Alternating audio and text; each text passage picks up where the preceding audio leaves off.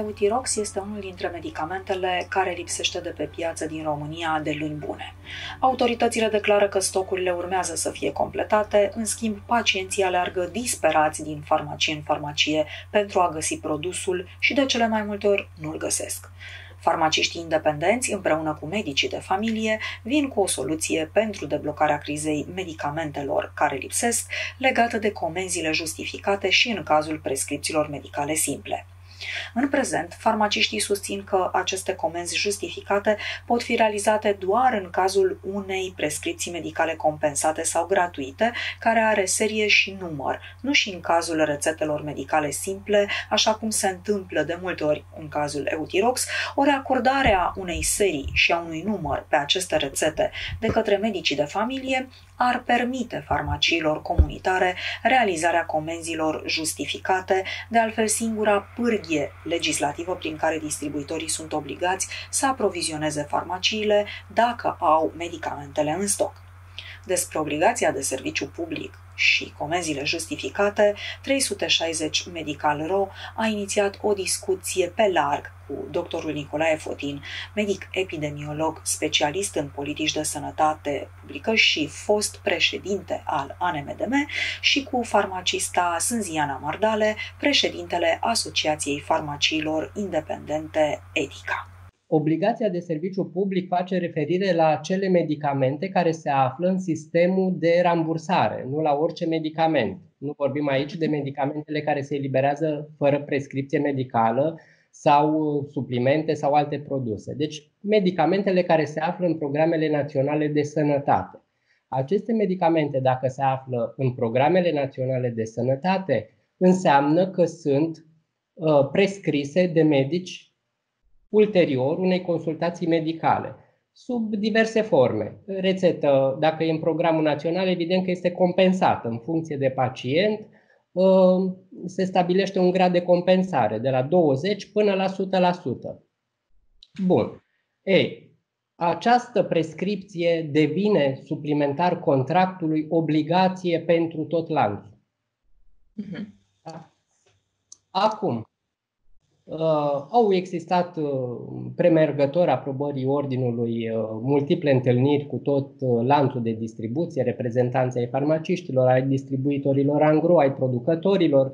Au fost nenumărate comentarii pro-contra. Este, era evident atunci, cum este și acum, că, era, că este necesar să existe un act normativ care să stabilească um, aceste obligații astfel încât pacienții să nu, mai, să, nu, să nu fie puși în situația de a nu avea nicio modalitate de a-și cere un drept pe care îl au prin Constituție. Bun, ordinul a fost aprobat în 2017 la început, după ce în anul 2016, cred că mai bine de un an au existat întâlniri cu toți actorii, um, s-a ajuns la Uh, concluzia că pentru a stabili aceste obligații este necesară dezvoltarea unui sistem care să monitorizeze stocurile, că nu poți cere dacă nu știi ce stocuri ai în mm. la distribuție.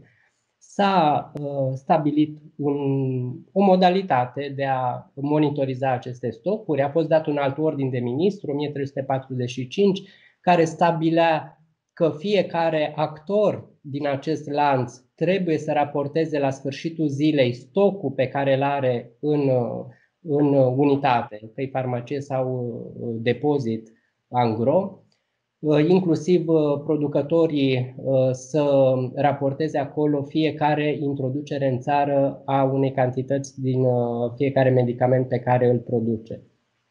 Astfel că a luat naștere sistemul electronic de raportare, pe care îl vedem pe site-ul Ministerului Sănătății și care, pe lângă această monitorizare uh, a stocurilor necesare autorităților să verifice și să um, stabilească anumite rapoarte, uh, atenționări, uh, monitorizări, avea ca scop și o interfață pentru pacienți, astfel încât atunci când un pacient caută un anumit produs, să vadă în ce Uh, regiuni, în ce locații se află sau dacă se află pe teritoriul României acel medicament, sau se poate căuta pe substanța activă dacă există un alt produs similar care să conțină acea substanță activă în stoc.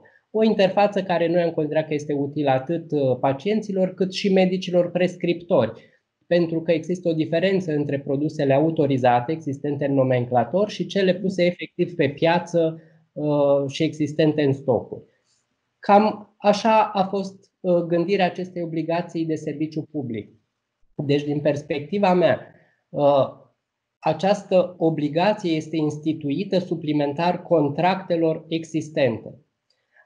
Am gândit că dacă tot acest lanț, plecând lăsând la o parte faptul că există relații comerciale, um, au ca obiectiv și trebuie să-l aibă că asta este uh, aprovizionarea cu medicamente a populației, atunci singura pârghie necesară este ceva suplimentar, doar care să regleze situațiile când um, um, contractele dintre părți nu funcționează. Și ca să rezum, a fost așa, în mod normal, ă, toată lumea își face treaba în baza contractelor pe care le au între ei, iar dacă se întâmplă să nu se înțeleagă, să nu existe, să nu uh, poată, uh, statul român e interesat mai puțin de această situație și să facă bine, prin această comandă justificată, să se facă medicamente. Cât de utilă vi se pare ideea de a da serie și număr rețetelor medicale simple pentru a permite farmaciilor comunitare realizarea comenzilor justificate în baza acestor prescripții? Din punctul meu de vedere, nu știu cât este de utilă, pentru că, repet, avem contractele care stau la baza achizițiilor. Contract între distribuitor uh, și farmacie, între distribuitor și producător. Prin urmare, din punctul meu de vedere, uh, prescripția simplă este un semnal adresat farmaciei de a-și modifica eventual condițiile contractuale pe care le uh, are cu distribuitorii ei pe acel produs. Adică, dacă la un produs am mai multe prescripții simple, dintr-un motiv sau altul, nu contează, eu văd că farmacia în momentul ăla verifică contractul pe care îl are cu distribuitorul și eventual crește cantitatea pe acel produs. Și asta devine o obligație comercială și nu o comandă justificată uh, în înțelesul uh, acelei comenzi. Doamna farmacist uh, sunt Ziana Mardale, ce părere aveți? Cum e în practică, de fapt? Ordin avem, reglementări avem, pârghii avem și totuși se întâmplă să nu găsim nu doar eutiroxul, ci mult mai multe medicamente la farmacie. Uh, chiar mi-au uh, spus de curând câțiva pacienți care iau eutirox de ani de zile că nici măcar nu iau rețetă de la medic și se duc direct la farmacie să-l cumpere. Nici nu se pune problema unei rețete. Ce ne facem în practică? Care este situația? Da, mulțumesc în primul rând că mi-a acordat această șansă de a exprima și punctul de vedere al farmacilor, care, din păcate, nu este foarte mult uh, uh pus în vedere public. Uh, ceea ce se întâmplă în mod uh, real. Um, într-adevăr, uh, este, sunt perfect de acord cu ce a spus uh, domnul Fotin anterior, însă mai sunt câteva aspecte care trebuie menționate.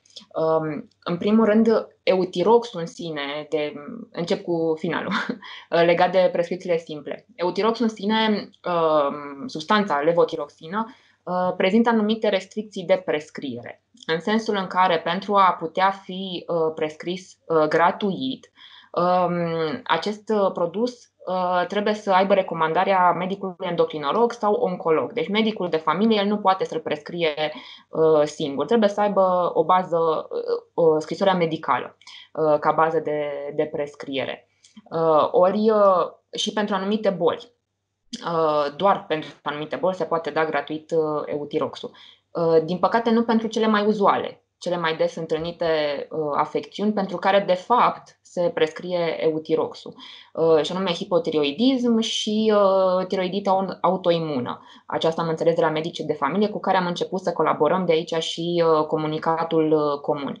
Și atunci, practic, medicii de familie scriu rețete simple Cumva discuția și ceea ce ni s-a transmis din partea Agenției Medicamentului vis-a-vis de acest produs a, a fost exact legat de acest lucru că uh, farmaciile nu realizează aceste recomenzi, aceste comenzi justificate către distribuitori, pentru că, de fapt, uh, noi nu avem baza legală pentru prescripțiile simple. În ce sens? Distribuitorii angro, dacă noi uh, facem ca farmacie um, comandă justificată pe o rețetă simplă, nu ne este acceptată, deoarece ordinul de care menționa și domnul Fotin anterior spune foarte clar că această comandă justificată reprezintă da, o solicitare în scris uh, făcută de farmacie către distribuitor cu care într-adevăr are relație contractuală. Deci trebuie să existe clar uh, distribuitorii cu care farmacia lucrează în mod curent um, și trebuie să fie însoțită această solicitare de anumite date, printre care și seria și uh, numărul care se regăsesc doar pe aceste rețete uh, gratuite și compensate. Iar uh, din discuțiile la care au participat atât farmaciști cât și producători, distribuitori, Agenția Medicamentului uh, în ultimul timp, uh, având în vedere faptul că uh, produsul se regăsea în stocuri limitate în țară, cumva s-a convenit asupra faptului ca uh, pentru acest produs, da, Uh, să fie acordat doar în baza unei prescripții medicale. În farmacie, de regulă, eutiroxul uh, se eliberează pe prescripții simple, da, deci de la medicul de familie, care sunt valabile, uh, unele dintre ele sunt valabile chiar și șase luni, da, prescripțiile simple au acest mod de prescriere, um, sau în baza scrisorii medicale, pentru că până la urmă și acela este un act medical evident și înseamnă de fapt o recomandare de la un medic specialist. Uh, de aceea, cumva, uh, comunicatul nostru și ceea ce am dorit cumva să aducem în plus uh, farmaciști și medici de familie se referă strict la produse Utirox, da? care are un pic o altă formă de prescriere. În general, da, marea majoritate a produselor medicamentoase din România, pentru că, într-adevăr, comenzile justificate și aici ne referim strict la produsele care se liberează pe bază de prescripție medicală da? și care, într-adevăr, fac obiectul, sunt uh, compensate sau uh, oferite gratuit pacienților în sistemul de asigurări sociale de sănătate. Deci la acestea ne, ne referim. Marea majoritate a lor sunt prescrise în baza unor uh, rețete electronice care au această serie și număr. Deci, practic, este un element tehnic mai degrabă în care cumva a fost uh, prins acest ordin. Evident, pentru că, așa cum explica și domnul Foti, trebuia să ai o bază pe care, uh, un element uh, prin care să poți justifica o cerere a unui produs. Contractului. O cerere suplimentară contractului. Exact, exact. Asta vreau să specific. Faptul că noi, farmaciștii, în niciun caz nu ne dorim ca această, sau nu percepem această comandă justificată ca un mod Uh, obișnuit de a realiza comenzi către distribuitori.